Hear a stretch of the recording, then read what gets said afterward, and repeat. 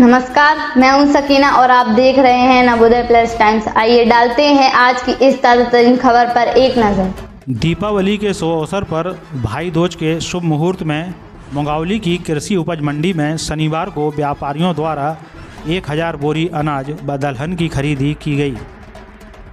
खरीदी कार्यक्रम के दौरान मंडी के बड़े व्यापारियों ने छोटे व्यापारियों से अनाज की खरीदी की, जिसमें एक हज़ार बोरी अनाज की खरीदी की गई। कार्यक्रम में मंडी की खराब होती स्थिति को देखकर अतिथियों ने विचार व्यक्त किए। कार्यक्रम के मुख्य अतिथि पीएचई राज्य मंत्री ब्रजेंद्र सिंह, विशिष्ट अतिथियों में जिला पंचायत सदस्य आधार सिंह यादव, जनपद उपाध्यक्ष धनपाल सिंह यादव, मनीष मोदी, अवधेश तिवारी चंद्र प्रकाश भानु जैन आदि मौजूद रहे। इस मौके पर बड़े व्यापारियों द्वारा, छोटे व्यापारियों का किसानों से दीपावली सौदा मुहूर्त का शुभारंभ करते हुए अनाज की खरीदी की गई। इस दौरान ईश्वर से प्रार्थना की गई कि कृषि मंडी हमेशा फलती फूलती रहे।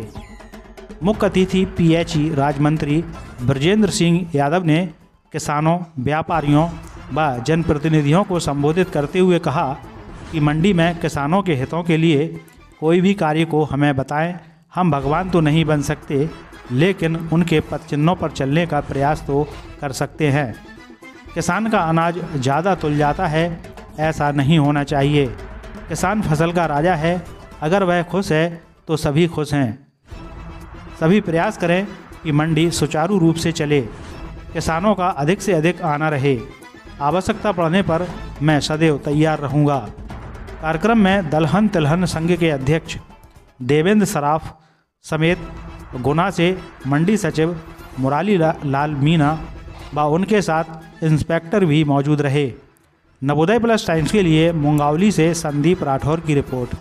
नहीं आज तो क्या कि ये दीपावली का त्यौहार है और चूँकि इसमें क्या क्या एक मिलन समारोह भी हो जाता है। एक दूसरे से मिल लेते हैं छुट्टी का टाइम है तो व्यापारी संघ ने ये कार्यक्रम आज इनके मुहूर्त में व्यापार होते हैं।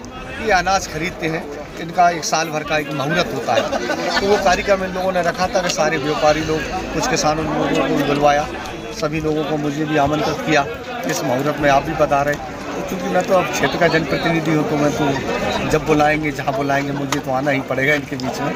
तो चूँकि एक दूसरे को दीपावली की शुभकामनाएँ दी, बधाई दी, और तो माँ लक्ष्मी से, भगवान राम से यही प्रार्थना करेंगे कि इनके मुहूर्त हमेशा अच्छे बने रहे।